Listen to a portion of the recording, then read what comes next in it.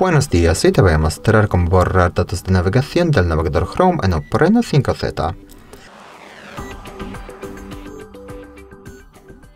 Para empezar abrimos eh, bueno, el navegador y luego pulsamos aquí arriba a la derecha estos tres puntos, elegimos historial y luego pulsamos, bueno, aquí arriba borrar datos de navegación y luego aquí a la derecha configuración avanzada y aquí intervalo de tiempo marcamos la última opción desde siempre porque queremos borrarlo todo y ahora más abajo marcamos todas estas opciones, confirmamos más abajo, entendido y esta con esos datos ya están eliminados. Muchas gracias por ver el vídeo, te invito a comentar abajo y suscribirte al canal. Hasta luego.